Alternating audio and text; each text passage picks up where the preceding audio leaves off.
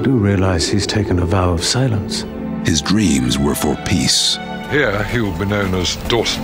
You are all doubly blessed. You have both a Kirkham education and the one true faith. And a life serving God. Holy Mother Church asks you to ordain this man.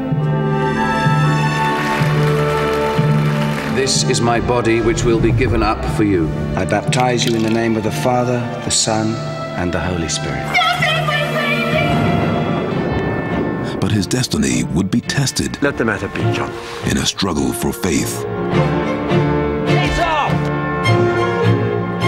What if the Pope is wrong? As far as your articles are concerned, the Pope is never wrong. Teresa, this is Father Dawson.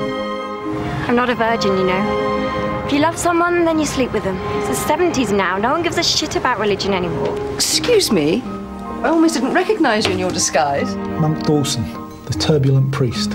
I love you. Let's get married, have, have children. And his best friend. You're always in my prayers, Bobby. Would betray him. Get out of this, Eddie. With the woman he loved.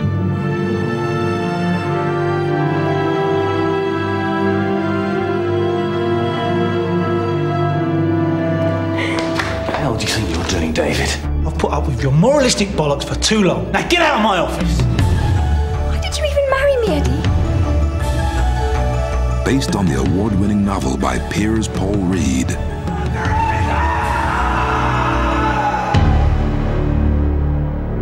John Michie, Ben Taylor, Martin Kemp, and Paula Hamilton.